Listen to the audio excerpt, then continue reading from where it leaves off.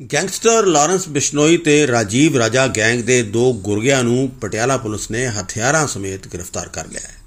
ਮੁਲਜ਼ਮਾਂ ਦੀ ਪਛਾਣ ਰੋਹਿਤ ਕੁਮਾਰ ਉਰਫ ਚੀਕੂ ਨਿਵਾਸੀ ਨਿਊ ਮਾਲਵਾ ਕਲੋਨੀ ਸਨੌਰੀ ਅੱਡਾ ਪਟਿਆਲਾ ਤੇ ਸੁਖਪਾਲ ਸਿੰਘ ਨਿਵਾਸੀ ਗਾਮ ਹਰਿਆਊ ਜ਼ਿਲ੍ਹਾ ਸੰਗਰੂਰ ਦੇ ਤੌਰ ਤੇ ਹੋਈ ਹੈ। ਮੁਲਜ਼ਮਾਂ ਨੂੰ ਸਨੌਰ ਤੋਂ ਰਿਸ਼ੀ ਕਲੋਨੀ ਮੋੜ ਤੋਂ ਗ੍ਰਿਫਤਾਰ ਕੀਤਾ ਗਿਆ। ਇਹਨਾਂ ਦੇ ਕੋਲੋਂ ਦੋ ਪਿਸਤੌਲਾਂ 32 ਬੋਰ ਦੀਆਂ ਤੇ 12 ਕਾਰਤੂਸ ਬਰਾਮਦ ਕੀਤੇ ਗਏ ਨੇ। ਐਸਐਸਪੀ ਨਾਨਕ ਸਿੰਘ ਨੇ ਦੱਸਿਆ ਕਿ ਮੁਲਜ਼ਮ ਰੋਹਿਤ ਕੁਮਾਰ ਉਰਫ ਚੀਕੂ ਦੇ ਖਿਲਾਫ 7 ਤੇ ਸੁਖਵਾਲ ਸਿੰਘ ਦੇ ਖਿਲਾਫ 3 ਮਾਮਲੇ ਦਰਜ ਨੇ। ਇਹਨਾਂ ਵਿੱਚ ਕਤਲ ਇਰਾਦਾ-ਏ ਕਤਲ ਵਗੈਰਾ ਦੇ ਮਾਮਲੇ ਦਰਜ ਨੇ। ਰੋਹਿਤ ਕੁਮਾਰ ਤੇ ਸੁਖਪਾਲ ਸਿੰਘ ਦੀ ਆਪਸ ਦੇ ਵਿੱਚ ਜਾਣ ਪਛਾਣ ਜੇਲ੍ਹ ਵਿੱਚ ਹੋਈ ਸੀ। ਰੋਹਿਤ ਕੁਮਾਰ ਸਾਲ 2020 ਤੋਂ ਲੈ ਕੇ 2023 ਤੱਕ ਵੱਖ-ਵੱਖ ਜੇਲ੍ਹਾਂ ਦੇ ਵਿੱਚ ਰਿਹਾ। ਇਸੇ ਦੌਰਾਨ 2022 ਦੇ ਵਿੱਚ ਲਾਰੈਂਸ ਬਿਸ਼ਨੋਈ ਗੈਂਗ ਦੇ ਨਵਪ੍ਰੀਤ ਸਿੰਘ ਉਰਫ ਨਵ ਲਾਹੌਰੀਆ ਦੇ ਨਾਲ ਉਹਦੀ ਮੁਲਾਕਾਤ ਹੋਈ।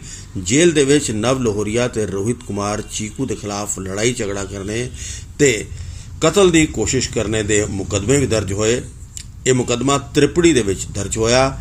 ਰੋਹਿਤ ਕੁਮਾਰ ਤੇਜਪਾਲ ਦਾ ਵੀ ਪੁਰਾਣਾ ਸਾਥੀ ਰਿਹਾ ਹੈ। ਤੇਜਪਾਲ ਦਾ 3 ਅਪ੍ਰੈਲ 2024 ਨੂੰ ਵਿਰੋਧੀ ਗੈਂਗ ਪੁਨੀਤ ਸਿੰਘ ਗੋਲਾ ਨੇ ਸਨੋਰੀ ਅੱਡੇ ਦੇ ਉੱਤੇ ਕਤਲ ਕਰ ਦਿੱਤਾ ਸੀ।